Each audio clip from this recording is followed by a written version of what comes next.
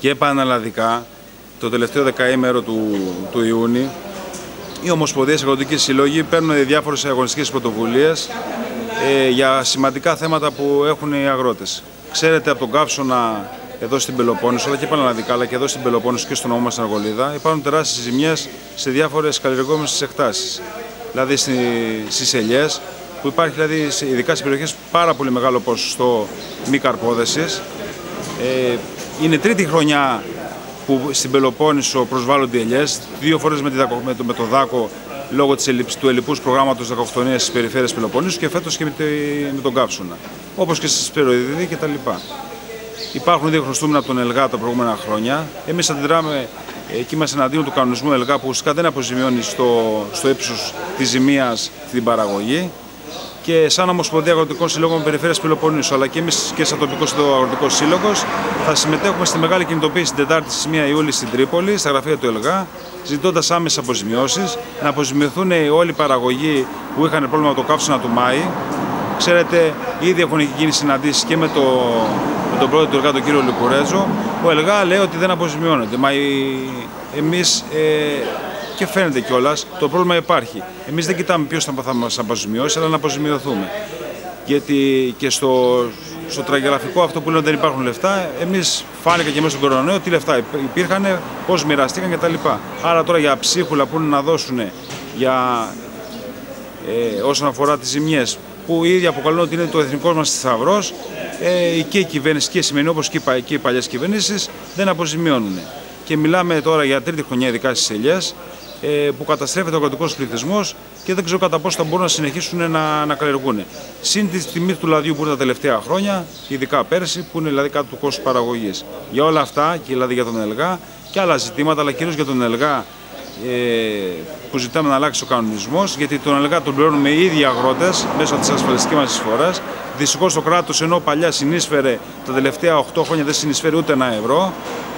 Ε, με αποτέλεσμα, ε, όποιες ζημίες γίνονται, γίνεται μια ριζόντια περικοπή και ουσιαστικά δεν αποζημιώνονται οι αγρότες και οι παραγωγοί και οι κτηνοτρόφοι για τις ζημιέ. Με αποτέλεσμα να είναι πάρα πολύ, η επόμενη μέρα πάρα πολύ, να είναι σε, σε δύσκολη θέση. Γι' αυτό... ότι δεν υπάρχει μεγάλο εύρο ζημιάς. Ε, όπως οι αγρότες μας λένε ότι και στις ελιέ και σε κάποιες περιοχέ υπάρχει πρόβλημα. Έχει η διαστοψία, έχετε διαπιστώσει ότι υπάρχει πρόβλημα. Εμείς κάναμε και, και, και με ανακοινώσεις αλλά και με επαφές που είχαμε και με την Περιφερειακή Αρχή. Ε, α, κάναμε διαπιστώσεις όταν, όταν μάθαμε ότι θα ερχόταν ο καύσωνος ότι, θα, ότι επειδή και λόγω εμπειρίας θα ξέραμε ότι θα έχει ζημιές. Πέρα από τους αγρότες, αν υπάρχουν ζημιές ή όχι. Φαίνεται ξεκάθαρα κατά καταρχήν ε, και στη συνάντηση που έγινε και σε συνεδρία στο Περιφερειακό Συμβούλιο.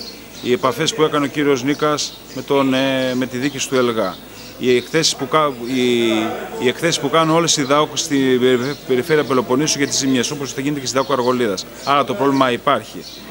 Και, και είναι και τέτοια πίεση που, που και οι αγρότες πιέζουν αυτήν την κατάσταση που αναγκαστικά και η Περιφερειακή Αρχή και αντίστοιχα τα επιτελεία της, τα, τα τεχνικά, φτιάχνουν ε, μελέτες κτλ. Δεν είναι δηλαδή τυχαίο ότι έχουν γίνει ήδη δύο συναντήσεις. Το πρόβλημα υπάρχει. Εμείς ζητάμε ε, πολιτική βούληση να υπάρχει και από το Υπουργείο, όχι μόνο από τον ΕΛΓΑ, γιατί και ο ΕΛΓΑ εντάξει, είναι ένας οργανισμός, αλλά υπάρχει στο, γενικά στην κυβέρνηση του Υπουργείου ότι πολιτική βούληση θα υπάρχει ώστε να αποζημιωθούν όλοι οι παραγωγοί για τη μεγάλη ζημιά που υπάρχει. Γιατί όντως η ζημιά είτε γενικευμένη είτε σε τοπικό είναι σε πάρα πολύ μεγάλο ποσοστό και φαίνεται κιόλας. Δηλαδή, ήδη έχει κάνει και η Δάκο Αργολίδα μια έκθεση με συγκεκριμένα στοιχεία που φαίνεται η ζημιά. Ε,